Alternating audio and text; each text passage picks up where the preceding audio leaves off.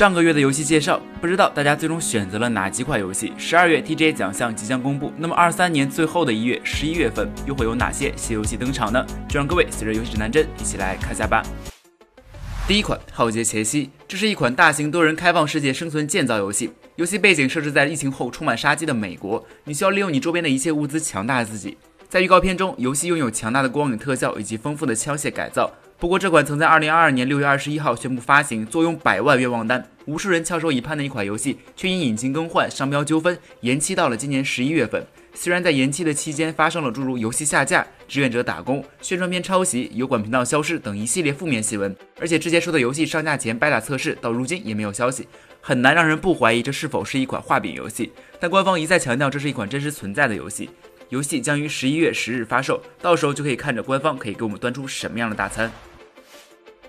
第二款《使命召唤二十：现代战争三》原先打算作为大型 DLC 发布，阴差阳错的成为了新一代的 COD。本代从风格和玩法上来讲，与去年的《现代战争二》在本质上没有显著的差异。两部作品都围绕相同的主题展开，并且剧情发展也沿用了之前作品的设定。此外，游戏地图的设计也基本上是对老版本《现代战争》的复制。战役模式则引入了一个全新要素——开放作战任务。与传统的战役模式关卡不同，这些任务重新定义了玩家群体，为个人游戏风格提供了无以伦比的自由度和适应性。本作提供了大量垂直和非传统的移动选择，玩家可以选择通过不同方式来完成本场战役。游戏将于十一月十日发售。如果你喜欢传统 COD 那种快节奏对局而非战术感，那本作应该不会辜负你的期待。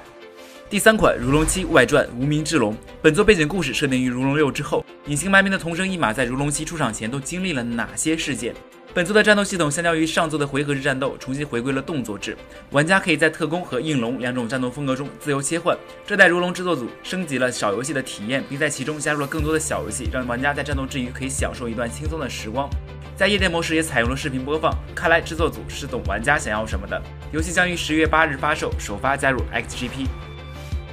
第四款《为了吾王二》。经典多人回合制策略游戏的续作，前作在 Steam 拥有特别好评。该游戏讲究的就是一个随机性，在游戏中你可以看到百分之十概率连续失败而成功把自己害死的诸多名场面。当然，游戏中很大随机性也是此类游戏的特色，让你永远不知道下一步会发生什么样的体验。既可以是让你对于各种事件充满惊喜，也可以是让你的每一次掷骰子充满害怕，可以称之为 RPG 式的赌狗模拟器。本作玩法与前作并无多大区别，更多的则是加强了画面表现力与内容量的增加。想和朋友一起玩这种慢节奏游戏的小伙伴，可以尝试在十一月三号发售日入手一部《为了无望二》。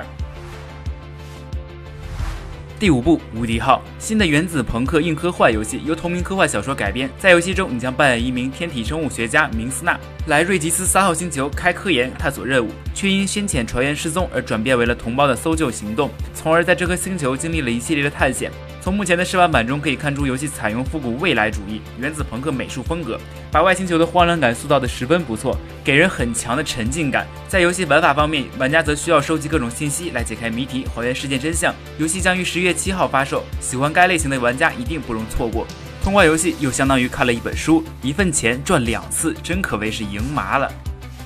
第六款《机械战警：暴力都市》以科幻动作电影《机械战警》为背景制作的游戏，玩家将扮演半人半机械的警察亚历克斯·墨菲，以第一人称视角在犯罪猖獗的底特律旧城中，依靠自己机械身躯和高科技武器来打击犯罪。战斗风格给人一种玩街机游戏的爽快感，人物像一个无情的战争机器，适合一些喜欢啪啪啪的玩家。游戏也将于十月三日正式发售。以上的几款游戏，各位都期待哪些呢？都可以在评论区或者弹幕中进行讨论哦。那么本期视频就到这里。目前游戏指南针也在发起“独立游戏孵化计划”，将为国内的游戏开发者提供资金和行业资源等支持。如果你正在开发游戏，那么欢迎私信联系我们。我是蔚蓝，我们下期视频再见。